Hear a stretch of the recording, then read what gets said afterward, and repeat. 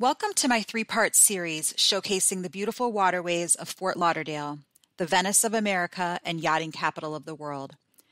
As a bonus, I will be pointing out homes that are on the market along the way. Today's boat ride will start in the Las Olas Isles, travel south down the Intracoastal Waterway, and take the New River, finally ending at a fun waterfront restaurant, yacht, bar, and kitchen. Since this is part one of the three part series, this video will stop as we enter the New River from the Intracoastal Waterway. My name is Nicole Murray Chen, and I'm a South Florida real estate specialist. Please consider subscribing to my channel and liking my video. The encouragement really inspires me to create great content for you to view. Our good friends Bill and Susan were kind enough to invite us on this boat ride. They, like me, are transplants from the Midwest, good old Chicago, Illinois. I've actually met many Midwesterners in Fort Lauderdale recently. If you are watching this and are thinking of transplanting yourself down here, definitely give me a call. I love Bill and Susan's home at the Palms of Venice Condo. It is a 10 unit building with spacious living areas, wraparound balconies, and convenient boat docks. Rarely does a unit come up for sale, and when they do, they are scooped up quickly, such as the $1.6 million unit that is currently pending. This home is on Isle of Venice Drive, and coincidentally, I lived on Isle of Venice back in 2006, shortly after moving down to Florida. This street holds a very special place in my heart as I had such fond memories living here during my 30s. Back then, I lived in a studio apartment with a water view, and I was only paying $800 per month. That included everything cable, electricity, furniture, and water. Property values and rents have increased dramatically since then. As people continue to move to South Florida, the values continue to increase. This sweet little apartment I had on Isle of Venice was a hidden gem. At the time, I was temporarily staying with friends nearby and knew I needed to find something quickly. I was very fond of the Isles and decided late one night to drive down the street with a friend of mine and pick out properties. Most of the rentals on the street at the time were older, smaller apartment buildings that you may not necessarily even find listed online available for rent. When I drove past 64 Isle of Venice with the charming bell tower and beautifully lit pool, I fell in love. It was like a mini Melrose Place with picturesque boats docked along the property on the canal. I walked through the entrance gate and down the open corridor to the pool and told myself that I am coming back the next day to find the landlord and ask to see an apartment since it was already so late at night. I marched back over the next day and knocked on the door of the owner's apartment. He was the most adorable old man, and he said I could move in right away, no deposit or lease. I feel like his name was Bob, but I seriously can't remember because I always secretly referred to him as Mr. Furley from Three's Company. He was this quirky, little, silly old man that I just adored and would do anything for. If he needed help, I was always there to offer. The finishes and furniture were old, and the carpet was probably from the 1970s, but I was as happy as I could be. He even had a spare apartment available for my family when they would come for only $50 a night. This kind of place was never advertised anywhere, not even a sign in the yard. Sometimes you just need to know where to drive around and start knocking on doors to get what you want. In the end, I ended up living there on and off for several years whenever I was in between moves. He eventually passed away, and the apartment was converted to condominiums.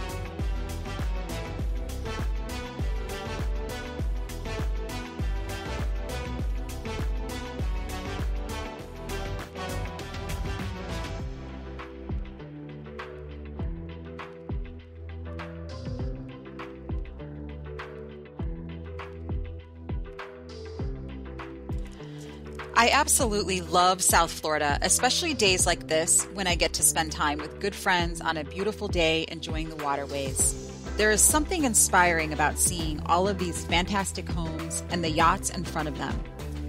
Check out 223 Royal Palm Drive. Point lots are hard to come by, and at almost 14.5 million, the price shows. The listings I am pointing out today are not my listings.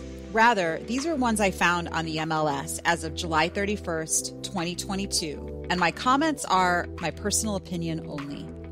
That being said, if you are a buyer and are not represented, give me a call and I will be happy to show you any of these homes. Back to 223 Royal Palm Drive. The property is being marketed more for land value than the home that is currently on there. 0.45 acres is a generous amount of land, especially on the water. Now, you may be asking yourself, what is a point lot? A point lot is distinctive due to its location at the end or point of a canal island. They provide for the very best wide water views, privacy in the cul de sac of the street, and the most accessible dockage for larger yachts. Point lot homes are highly prized due to limited availability and offer the pinnacle of waterfront living. If you are watching this and would like to sell your home, I love working with sellers as well. Now, you may be wondering do the people of South Florida go out on boats every week? The answer is yes. Fort Lauderdale is a boating community, and the boating lifestyle is very much ingrained into the town. Once you live here, it is likely that you'll make friends with at least a handful of people with some sort of watercraft.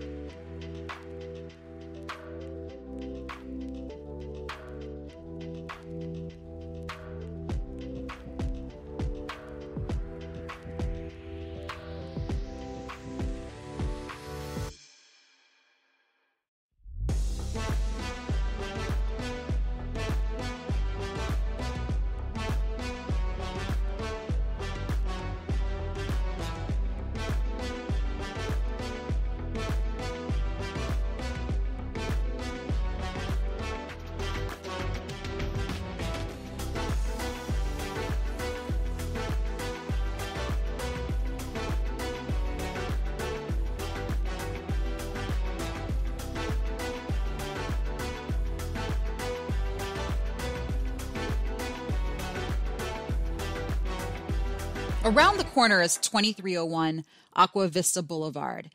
At almost 23 million, it sits on a huge 0.73 acre point lot. The home is seven bedrooms with seven and a half bathrooms and plenty of room for your super yacht. If you own a hedge fund or an oil company, this may be the perfect fit. Speaking of super yachts, I am a big fan of the Bravo series Below Deck. Captain Lee, Malia, Captain Sandy, Chef Ben, and the majority of all of the cast members either live or spend some time in Fort Lauderdale at some point during the year. If you're a fan of Below Deck as well, comment below with your favorite cast member. The super yachts of Below Deck are 150 to 175 feet in length. I'm not sure what is the cutoff for the super in super yacht, but if you see Captain Lee, you are probably on one.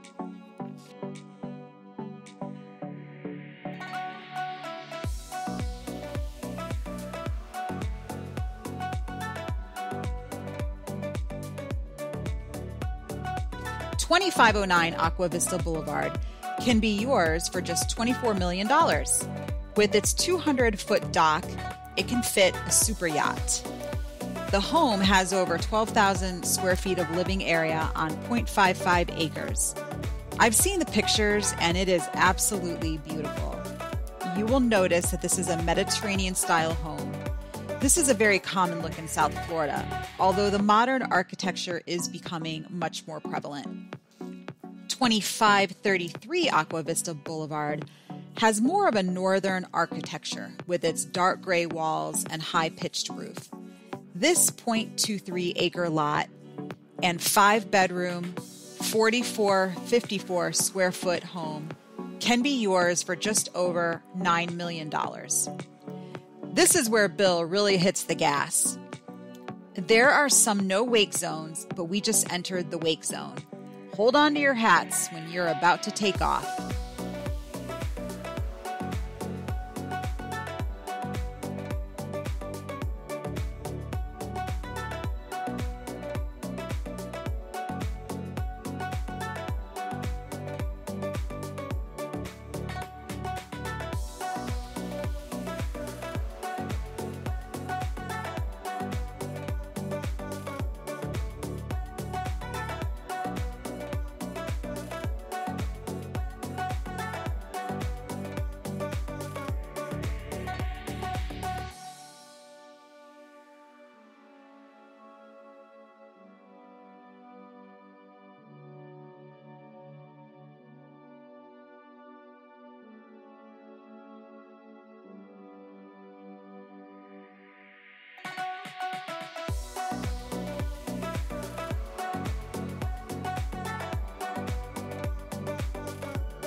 This cluster of condo buildings are a great choice if you want to live in luxury while being in the middle of the busiest section of Fort Lauderdale Beach.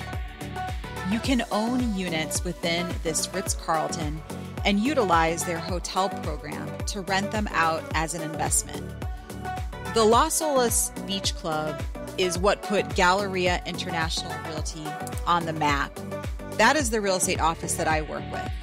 You are just steps from the beach. The Portofino is an intracoastal facing building with fewer units than the nearby larger towers. Jackson Towers is one of my favorites. It is known for their very oversized balconies. The amenities within the building are fantastic. Please visit my website or call me for more information on these towers. The stretch of water we are on right now is the Intracoastal Waterway. This is the I 95 of boating. We started off in the quiet canals of the Las Olas Isles, but once you get to the busy Intracoastal, you have to be careful and vigilant. You will notice that there are some humongous homes on the Intracoastal. That wide open water view is prized down here. It doesn't get much wider than this part of the Intracoastal, at least in Broward County. This beautiful home with many columns is 2 Pelican Drive. It's already in pending status, but the asking price was $19.9 million. I'll be looking it up later after it closes to see what it traded for.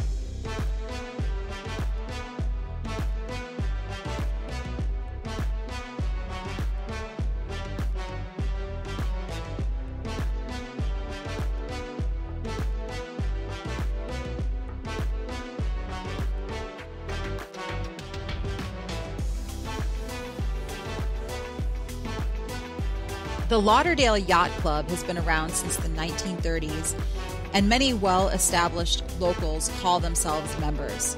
They recently renovated their building. Lauderdale Yacht Club is a private members only club. To be considered for membership, you must be recommended by a current member. Due to the overwhelming response in membership, it will be close to a year before there are openings for those inquiring about membership right now.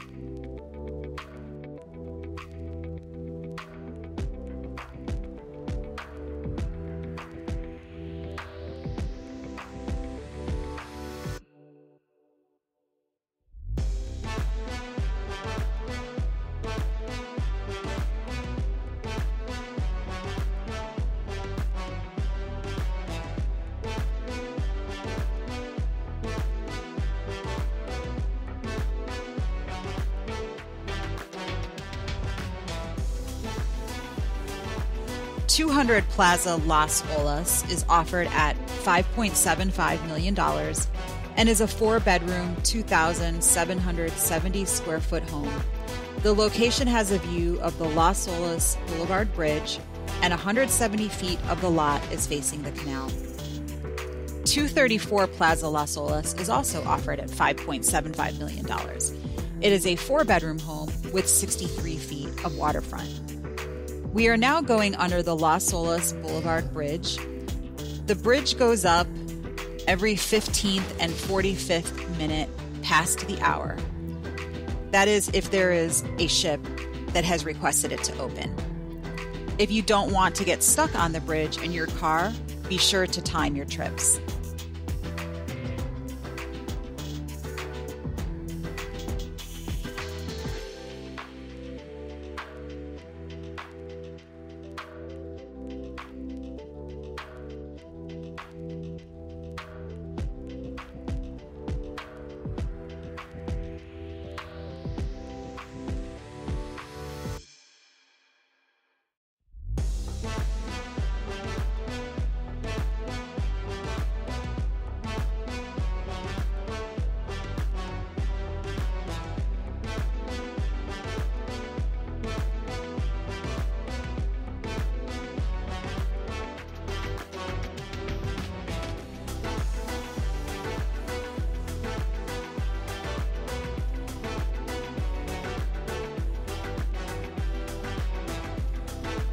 The Venetian is a 1960s building on a fantastic plot of land right on the Intracoastal and a couple blocks from the beach. One of the more affordable buildings in the area, the prices here still start at $900,000. You may have seen one of my other videos discussing the Point of Americas, the building that I live in. Before buying at the Point, we did tour the Venetian. It appears to be a well maintained building and it's definitely in the center of all the action.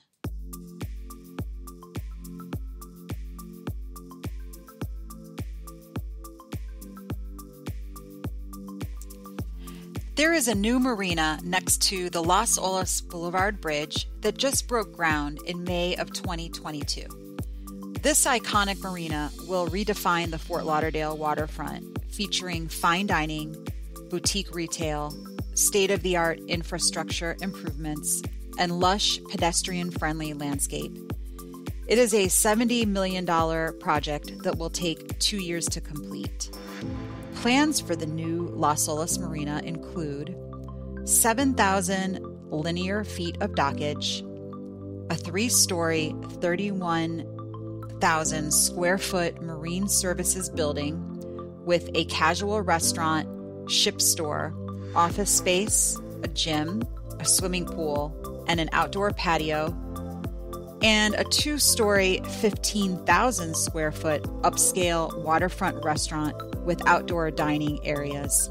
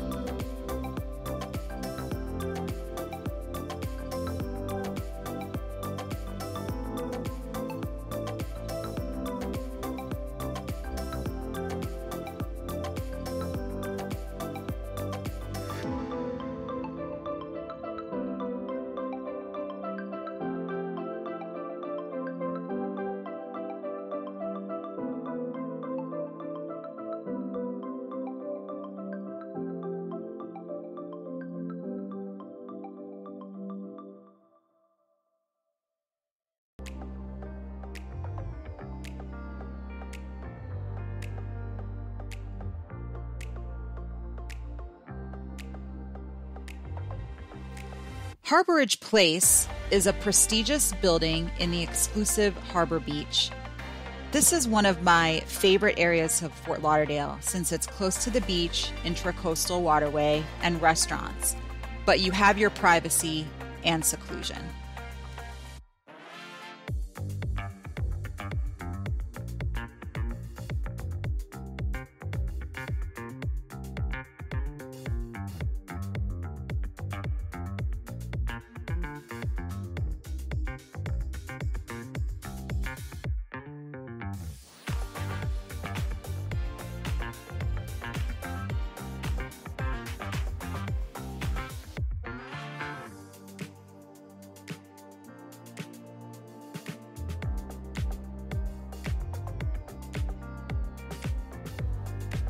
In the southeast corner of Fort Lauderdale is one of the most prestigious neighborhoods in all of Fort Lauderdale. Bordered by Port Everglades to the south, the Atlantic Ocean to the east, the Intracoastal Waterway to the west, and Fort Lauderdale Beach Park to the north, this community is popular with yachting enthusiasts who appreciate the deep water home sites and close proximity to the ocean. Harbor Beach includes the subdivisions of Laguna Isle, Lucille Isle, Del Lago Isle, and Isle Bahia, and the association provides for a private beach club and security patrols. The affluent Harborage Isle, which contains just 17 waterfront homes on the beautiful New River Sound, has its own association, guard gate, and security.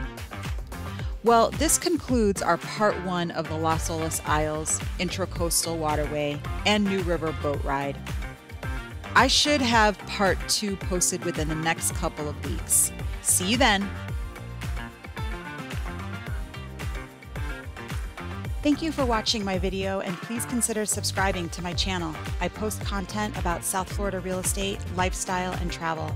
I am also a licensed realtor, so please visit my website for listings and my contact information. I look forward to hearing from you soon.